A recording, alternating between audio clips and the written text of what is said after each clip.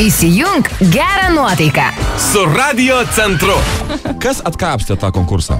Na, žinai, tu, ar tu gauni kažkokį mailą, sakai, klausyk. Ne, ne, ne, tu esi ten buvo tokia ta- labai juokinga situacija. Aš labai retai sergu. Uh, Ta prasme- pakankamai stipraus tvirto imuniteto panelė esu. Ir tiesiog tai buvo, kad praeitais metais po viso kalėdinio maratono Mhm. ėmė ir labai mane užkariavo lyga stipri, kai man laikėsi 40 laipsnių temperatūra beveik kelias dienas ir 15 minučių tik tai pavyko numušti per tas 15 minučių, aišku, mano aktyvus charakteris pasireiškia. Aš užlipau į viršų, kur mama skaitė internetinės naujienas ir tuo metu tiesiog interneto portale aš pamačiau skelbimą Tu pamatai. Tiksliau pamačiau Ar nuotrauką. Ne, pamačiau aš nuotrauką su dainuojančia moters figūra ir sakau, mama, kas ten? Mano akis nepraleidžia, kas ten mikrofonai, natos muzika.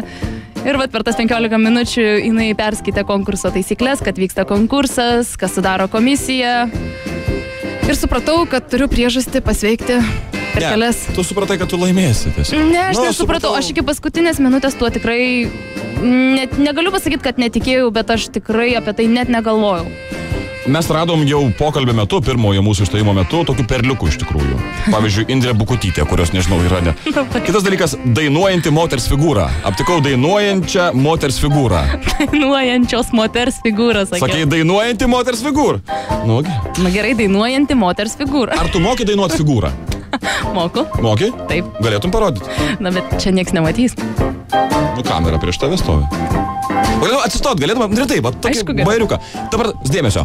Evelina Anusauskaitė nedainuos, nes jo balso ypatybėmis mes nebejojame, ar ne, ir grožiu. Bet ji dainuos figūrą. Aš matau, bet gal man užsimerk, bet pabandykim. Nu, va, 15 sekundžių. Kokią nors muziką gal galėtum paleisti linksmesnę? Nu, palauk. Tau dainelės reikia? Taip reikia. Klausyk sekundėlę, palauk. Aš kažką labai taip trumpai, gerai, palauk sekundėlę kažkaip. Nes aš irgi labai trumpai. va, va, va, va. Va,